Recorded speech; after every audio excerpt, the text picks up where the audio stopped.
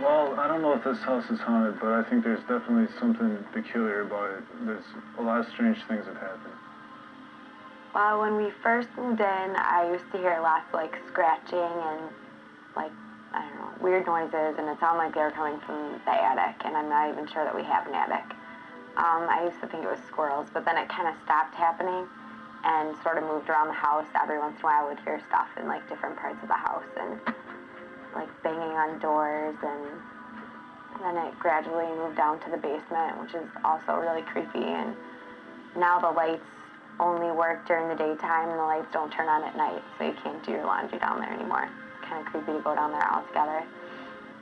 I don't go into the basement very often because I've heard of the stories of the basement, so I avoid it as much as possible. I think I've done laundry here about three times since we've lived here. The upstairs and the basement seem to be the most haunted in the house. So I always hear noises coming from. It flickers. It sometimes works and it some, sometimes works and sometimes doesn't. We change the bulb almost every week and it still flickers on and off.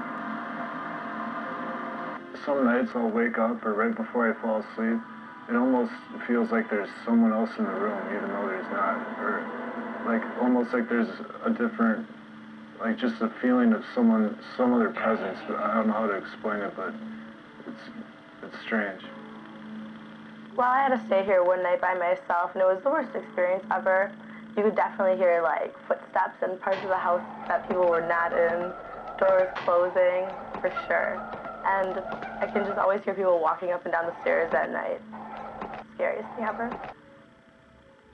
The bathroom in the basement, which has no walls really, but there's a toilet that works, and then there's like a creepy hole in the wall with cement blocks and a lot of little tiny rooms and doors for no reason.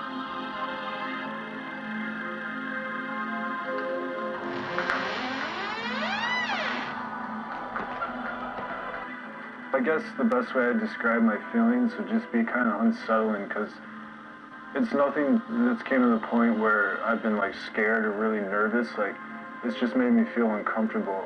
I, I don't know. It's mm, the feeling. It's just it's like somebody's like invading your space or it, it's just it makes you feel uncomfortable because you don't know how to explain it. Definitely move. Can't take it if it gets any worse.